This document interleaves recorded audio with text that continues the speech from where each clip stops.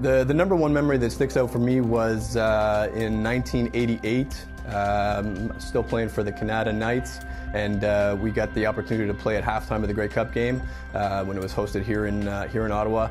Uh, Winnipeg versus BC. Uh, when I was growing up, the, the Rough Riders weren't really around for, for part of that time, so the Winnipeg Blue Bombers were my team. So it was a big deal for me to, to be able to be a part of that game. Um, Winnipeg ended up winning it in the last last minute. And uh, through a family connection, I was actually able to get into the locker room after the game, and uh, that was actually my first experience touching the Grey Cup, and uh, was a, was a, it's a nice memory to have, uh, considering that I was able to to be a part of the Grey Cup later on in life as well.